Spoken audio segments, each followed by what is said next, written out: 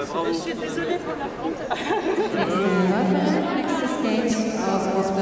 from Great Britain, Tracey Hodgkinson-Jones.